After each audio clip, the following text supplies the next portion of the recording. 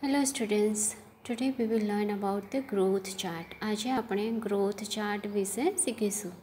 ગુજરાતીમાં આપણે એને વૃદ્ધિ આલેખનનો ચાર્ટ પણ કહેવામાં આવ્યો છે. બરાબર ને?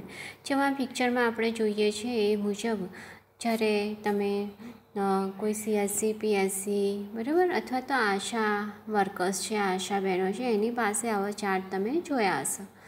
મમતા દીને જ્યારે બાળક અને મમ્મીએ હા, આપણા સેન્ટર ઉપર આવે. બરાબર ને? એમને દરેકને આવું એક કાર્ડ આપવામાં આવે છે. બરાબર ને? મમતા કાર્ડ.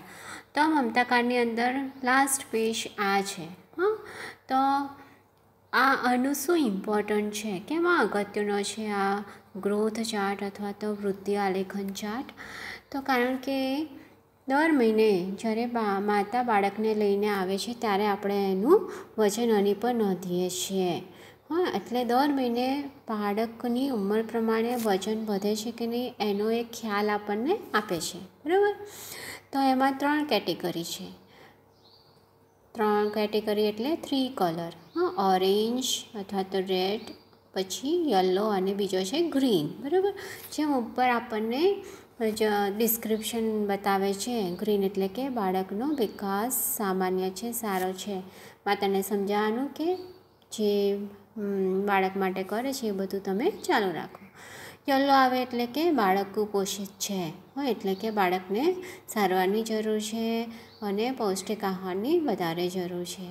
અને ઓરેન્જમાં આવે માર્કિંગ, એનો મતલબ કે બાળક અતિ કુપોષિત છે.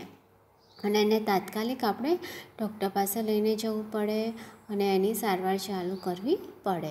સારું, બીજું એક અગત્યનું કે આ ગ્રોથ ચાર્ટ આપણે કેવી રીતે સમજવાનું? બરાબર ને? આલેખન ચાર્ટ કેવી રીતે સમજવાનું? તો જે ઊભી લાઈન છે, હા, ઊભી લાઈન અહીંયા નીચે તમે વાંચી શકો છો કે એમાં શું લખીએ છીએ ઉંમર. એક વર્ષ, બે વર્ષ, ત્રણ વર્ષ અથવા તો હજુ તો બાળક જન્મ્યું હોય તો એક મહિનો, બે મહિનો, ત્રણ મહિનો, ચાર મહિનો ત્યાં છે જ. બરાબર ને? અને પછી બીજું જે આડી લાઈન છે, આડી લાઈનમાં આપણે શું મૂકીએ છીએ? વજન. એક કિલો, બે કિલો, ત્રણ કિલો, ચાર કિલો, બરાબર ને? દાખલા તરીકે બાળક ત્રણ મહિનાનું છે અને એનું વજન ત્રણ છે, તો ત્રણ મહિના અને ત્રણ કેજી જ્યાં મળે છે એ બિંદુ ઉપર આપણે માર્ક કરીને આલેખ દોરવાનો છે. એ જ રીતે આવતા મહિને ફરી આપણે કરીશું. એટલે બાળક બાર મહિના, બાર વખત આપણે કરીશું એક વર્ષમાં તો બાર માર્કિંગ આવશે અને એ માર્કિંગ ક્યાં જાય છે, બરાબર? એ આલેખ ક્યાં જાય છે આપણે જોવાનું. જો ગ્રીનમાં જતો હશે તો એનું વિકાસ અને વૃદ્ધિ ખૂબ સારી છે. પીળામાં જશે તો થોડુંક કુપોષિત છે, એની કાળજી રાખવાની જરૂર છે, એને વધારે પૌષ્ટિક આહાર આપવાની જરૂર છે. અને એને આ જે ટપકા છે, બરાબર? એ ટપકા આપણે કેવી રીતે સમજવાના છે? તો જૂના જૂના પાંચ ટપકા આવે, પછી એક સહેજ મોટું ટપકું અને પછી બીજા નાના પાંચ ટપકા અને ફરી મોટું ટપકું, બરાબર? તો એક નાનું બિંદુ એટલે સો ગ્રામ જેમાં સ્ક્વેરમાં બતાવ્યું છે. તો પાંચ ભેગા થાય એટલે થાય પાંચસો અને પછી બીજા પાંચ ભેગા થાય એટલે થાય એક કિલો, બરાબર? તો એ રીતે આપણે બાળકનું માર્કિંગ કરવાનું છે. બાળકનું વજન દાખલા તરીકે છસો હોય, બરાબર ને? એક કિલો અને છસો ગ્રામ. તો આપણે એક કિલો ઉપર જવાનું પછી બીજા પાંચ ટપકા ગણવાના અને એની ઉપર છઠ્ઠા ટપકાએ આપણે માર્કિંગ કરવાનું. તો આ રીતે ગ્રોથ ચાર્ટ ઉપર આપણે માર્કિંગ કરીએ છીએ. So this is growth chart બીજું નામ, વૃદ્ધિ આલેખન ચાર્ટ હા, કોઈ આપણને પૂછે કે ગ્રોથ ચાર્ટ વિશે ખબર છે?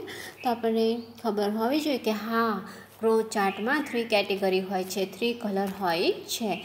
ગ્રીન સામાન્ય બતાવે યલો કુપોષિત એટલે કે માલનરિસ્ટ અને orange is very very malnourished and that orange means the child needs immediate care attention and good nutritious diet okay how it helps it helps us to know that the growth is taking place proper way or no according to the age of child the weight of the child is increased or no okay so that's it